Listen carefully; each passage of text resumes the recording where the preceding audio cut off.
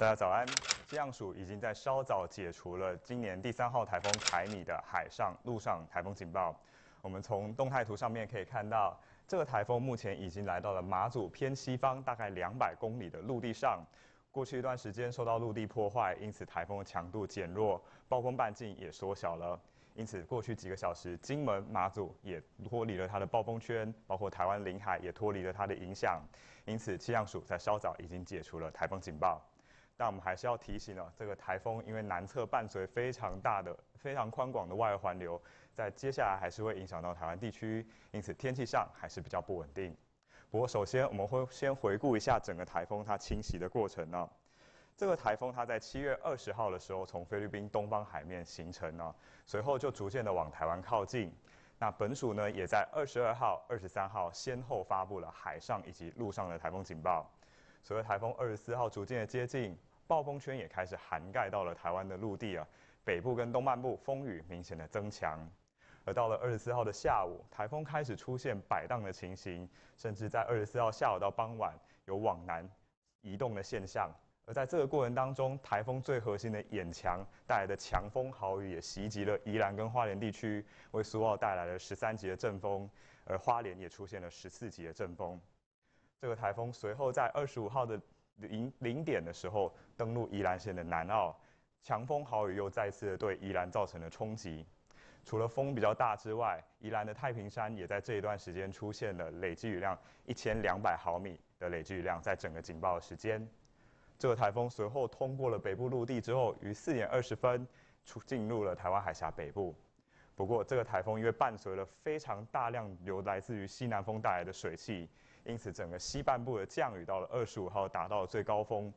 中部跟南部，我们从累计雨量图上面可以看到，红色区域非常的广泛，这个是累计雨量超过六百毫米的累计雨量区域，而且部分地区像台南、高雄有部分的乡镇出现了时雨量超过一百毫米，非常剧烈的短延时强降雨，这也导致了在中部跟南部的降雨累积雨量非常的可观。其中目前累积量最多的是高雄的多纳林道，已经超过了一千八百毫米了，而屏东的尾寮山也有一千五百毫米。这一段时间，台风的风也是持续的影响到我们各沿海，在二十五号几乎都出现了十到十一级的强阵风，尤其基隆也出现了十二级的阵风。而随着台风逐渐的往福建沿岸接近，在昨天晚上七点前后登陆福建沿岸。但是暴风圈持续影响了金门、马祖，也为当地带来了十到十一级的阵风，而同时外围环流也持续的让台湾这边降进出现强降雨。随着台风逐渐远离，我们稍早已经解除了台风警报。不过在外围环流还是持续影响到我们。从雷达回国图上面我们可以看到。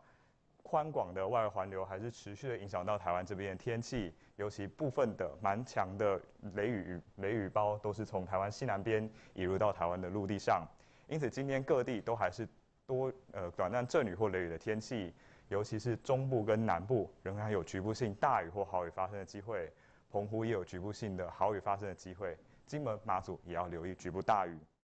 我们从未来几天的未来几个小时的定量降水预报上可以看到。今天白天的部分的话，各地都是有雨，其中中部跟南部还是雨比较多，容易有局部性大雨或豪雨发生的可能。到了今天入夜，甚至到明天，随着风向逐渐由西南风转变为偏南风，除了南部地区还是有局部大雨发生之外，我们可以看到花莲跟台东，因为同样开始进入迎风面，也开始会有局部性大雨发生的可能。所以要提醒花东地区的朋友要特别留意，降雨从今天晚上开始会逐步逐渐的增加。因此，我们稍微总结一下，在今天要稍微注意的地方。凯米台风虽然已经逐渐远离，但受到外围环流影响，金门马祖今天还是会有间歇性的风势跟雨势。中南部还是要留意会有局部性大雨或豪雨发生的可能。今天在离岛还是有十到十三级的强阵风，台湾部分的沿海还是有八到十级强阵风出现。今天到明天，沿海的浪都还是相当大，所以这几天建议大家不要前往山区或是海边活动。另外，目前在菲律宾东方有另外一个低气压发展出来了。我们从卫星云图上面可以看到，这个是台湾的位置，在菲律宾以东，目前这边开始逐渐的有热带的云系逐渐的发展。我们预期未来可能会有一个低压逐渐发展起来。嗯而从未来的资料上显示，这个低气压发展起来之后，有机会朝西北的方向，在下个礼拜一、下个礼拜二前后接近到台湾附近的海面。本署在接下来几天会密切注意这个低气压发展以及它的动态，也提醒民众要持续留意最新的气象资讯。以上是这一节的台风的动态说明。